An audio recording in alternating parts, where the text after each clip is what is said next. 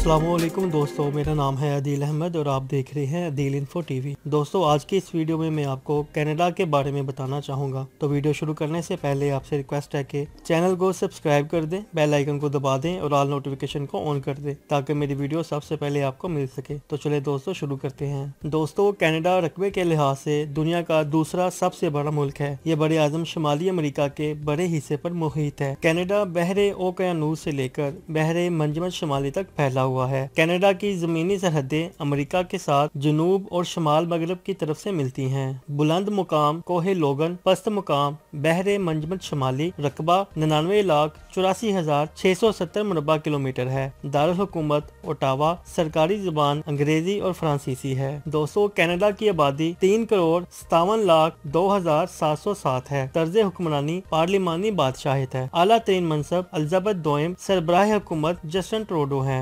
शराय बेरोजगारी, सात फ़ीसद ट्रैफ़िक की सीमत, दाएँ जानब डोमेन डॉट सी ए और international calling code plus one है। दोस्तों, कनाडा में कदीम मकामी लोग रहते थे। कनाडा ने बरतानिया से बदतरीज आज़ादी हासिल की। ये अमल 1860 स्टार्ट से लेकर उन्नीस सौ बयासी में मुकम्मल हुआ। कनाडा वफाकी, आईनी, शाही और पार्लिमानी जमहूरियत का मजमु है और दस सूबा जात और तीन रियासतों पर मुश्तमिल है। कनाडा को सरकारी तौर पर दो जबानों वाला मुल्क भी कहा जाता है। अंग्रेज़ी और फ्रांसीसी जबानों को सरकारी जबानों का दर्जा हासिल है। कनाडा टेक्नोलॉजी के लिहाज से तरक्की याफ्ता और सनती कौम है। इसकी मीशत का ज़्यादातर इन्हसार इसके कुदरती वसाइल और तजारत बिलखसूस अमरीका के साथ तजारत पर है, जिसके साथ कनाडा की तवील मुदती शराकत है। दोस्तों, कनाडा में मलका अलिजबत के साथ आईनी बादशाहत का निज़ाम कायम है, जो कनाडा के सरबराह ममलिकत का काम सर अंजाम देती हैं और वफाकी तर्ज की पार्लिमानी जमहूरियत का निज़ाम भी है और इसकी सियासी रवायात बहुत मज़बूत है। कनाडा का आयन मुल्क के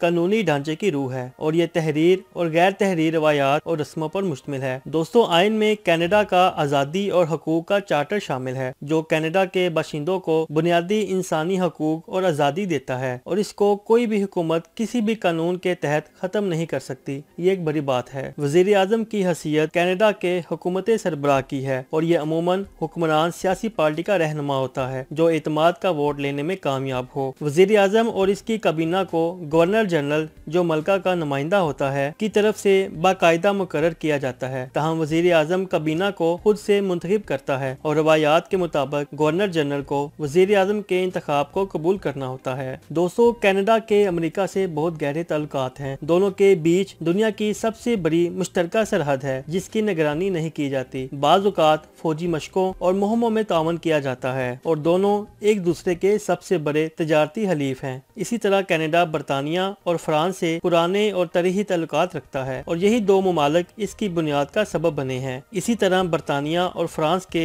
दूसरे सबका मकबूजा इलाकों से भी कनाडा के तलकात हैं। दोस्तों, कनाडा की आबादी की औस तीन अशारिया पाँच अफराद फ़ी मरबा किलोमीटर है, जो दुनिया भर में सबसे कम गुंजान आबाद इलाकों में शुमार होता है। क्यूबिक से लेकर विंडसर की पट्टी कनाडा के गुंजान आबाद इलाकों में शुमार होती है। इसी तरह कनाडा में जितनी झीलें और दरिया हैं, वो दुनिया भर के किसी और मुल्क के पास नहीं है। इसी तरह कनाडा के पास मीठे पानी के जखायर दुनिया भर में सबसे ज़्यादा हैं। दोस्तों, कनाडा में ज़्यादा से ज़्यादा और कम से कम औस दर्जा हरारत जगह के लिहाज से बहुत फ़र्क है। मुल्क के बाज इलाकों जैसे परेरी आईलैंड सूबे में रोज़ाना का औस दर्जा हरारत मनफी पाँच डिग्री सेंटीग्रेड रहता है और कम से कम दर्जा हरारत तेज, सख्त हवा और शदीद बर्फानी ठंड के बायस मनफी चालीस डिग्री सेंटीग्रेड भी हो सकता है।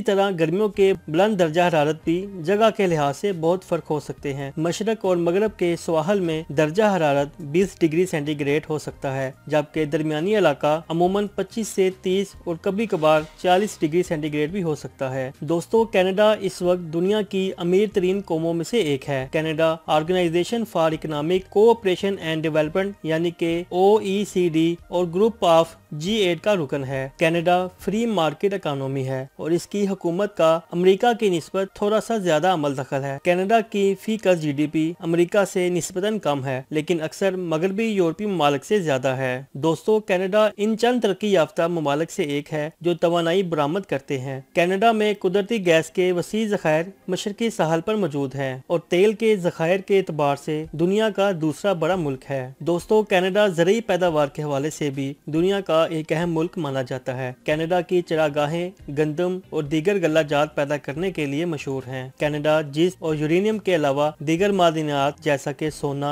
कांसी, एल्यूमिनियम और सीसा के लिए भी बहुत मशहूर है। दोस्तों 2001 की मरदमशुमारी के मुताबिक कनाडा में मौजूदा अंदाज़ा बत्तीस अशारिया पाँच मिलियन लगाया जाता है। आबादी में इजाफे की बुनियादी वजह इमिग्रेशन है और किसी हद तक कुदरती शराब पैदाइश भी इसका सबब है। इस वक्त कनाडा की तीन चौथाई आबादी अमेरिका के साथ सरहद के 160 किलोमीटर के अंदर रह रही है। इसी तरह आबादी का बड़ा हिस्सा शहरों में रहायश पजीर है। दोस्तों नस्ली या कौमियत के अतबार से कनाडा बहुत मिली जुली कौम है। 2001 की मरदमशुमारी से पता चला है कि कनाडा में कुल चौतीस कौमी आबाद हैं, जिनकी आबादी एक लाख से जायद है। कनाडा के अपने बशिंदे सबसे ज़्यादा, यानी उनतालीस अशारिया चार फ़ीसद है। इसके बाद अंग्रेज़ों की तादाद बीस अशारिया दो फ़ीसद है। इसके बाद फ्रांसीसी, स्कॉटिश, आयरिश, जर्मन, अतालवी चीनी यूक्राइनी और जनूबी अमेरिका के रेड इंडियन आते हैं। कनाडा के असली बशिंदों की तादाद में दीगर आबादी की नस्बता दुगना इजाफा हो रहा है। 2001 में आबादी का